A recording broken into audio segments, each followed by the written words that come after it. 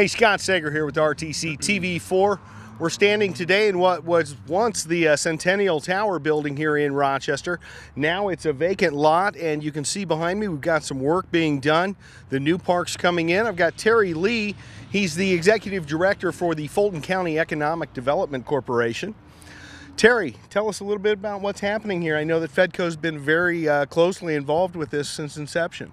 Yeah, since we were or are a 501c3 nonprofit organization, it was easy for us to uh, actually be the conduit to, to purchase the property. So we took private and some private donations and some city funds to acquire it. It's uh, being held in a corporation that we formed or an LLC that, that Fedco formed to just hold the property. Gotcha. Um, our plan is to work with our development partners, uh, develop it as sort of an urban style park, mm-hmm. um, and then turn the ownership uh, over to the city of Rochester. So, Excellent. So, so the final resting place will be a, a, park owned by the city of Rochester. Yep, that's managed right. by the park board. That's right. That's excellent. Right. Excellent. Well, we've got some scenes of that park, and uh, we'll show that to you. That was put together by Schroff Landscaping and Nurseries. Uh, Mitch Melton helped with that, correct? That's right. Uh, Mark Schroff and Mitch Melton uh, put together, uh, worked with our design team. Uh, over the last uh, 12 months, 10 months, right. uh, to get our design finalized. And then once we felt like we had, you know, version 7.0 or whatever, uh, Mitch went to work on a WMV file and put together. Looks like a, it's an animated sort of drone flyover look Yeah. at the park, you know. So uh, when we got that, it was like, okay, we got something to work with here. Let's get started.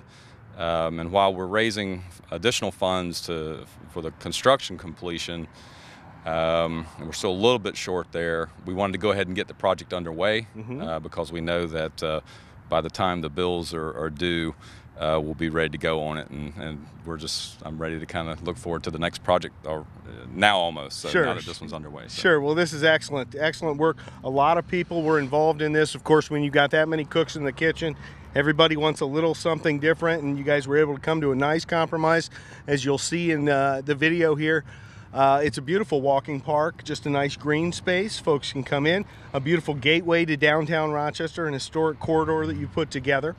Um, you say funding's uh, you're not quite to the goal for what the anticipated budget needs to be.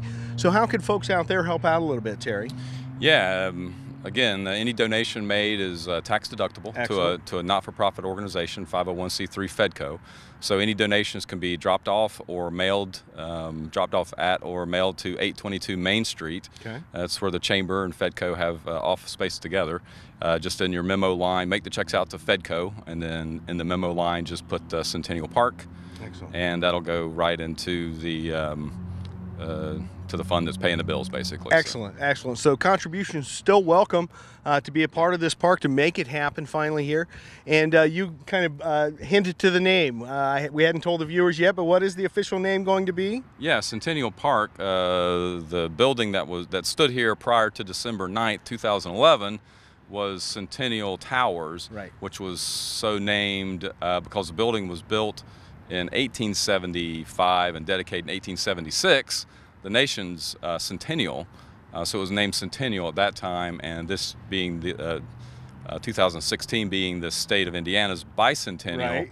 Uh, we wanted to play off the combination, Sure. but really stuck with the original Centennial dedication name. So Centennial Park, uh, it's known. It's it's one of the state's um, Indiana's bicentennial leg- legacy project uh, projects. From some of that So- grant money and things they were doing last There was no year? grant money involved. Okay. This is a designation as yeah from some of the grant money that helped us uh, acquire some other park properties in, the, in the city, um, and just get us on a list of projects that were that are going to be done as commemorative of the Yes, the city, uh, the, the state's bicentennial. Sorry. yeah. Excellent. Okay, very good. We- Well, we've had quite a few things uh, happen here over the past couple of days. I see work is being Right. done. Um, projected start date for the real heavy uh, starting to come together. Um, projected start date for the real heavy starting to come together was last Monday. Okay, it was last Monday. Yeah, so we tore out a bunch of sidewalk on Main Street. We wanted to replace all that. We had to move a water um, uh, valve. Um, some of the asphalt on this side will come up. We're getting drainage in uh, over the next couple of days.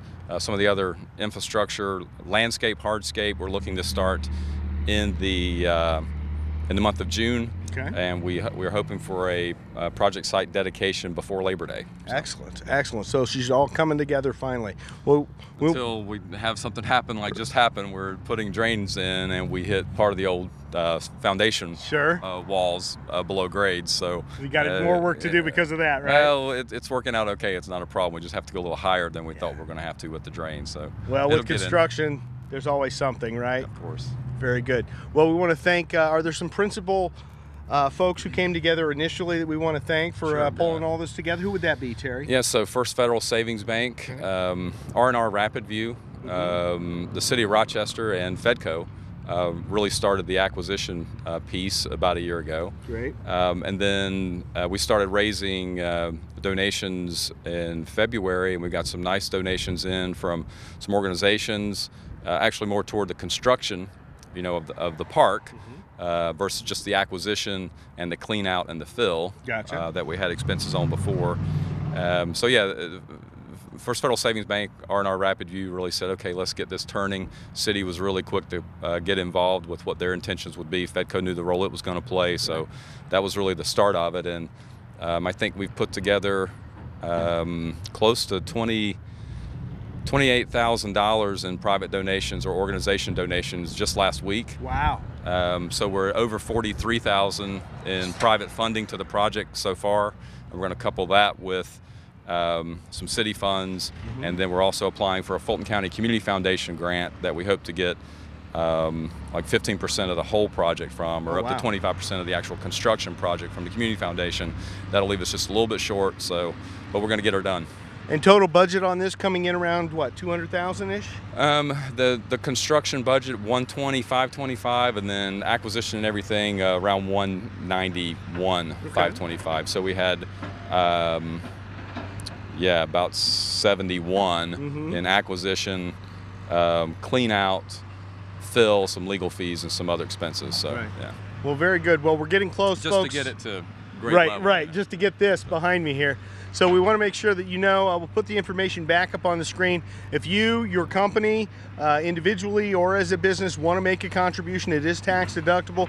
We're looking forward to seeing this uh, park come together. We want to thank everybody involved, and we'll give you some updates as we go along here. So thank you for your time, Terry. Scott, thank you. All right.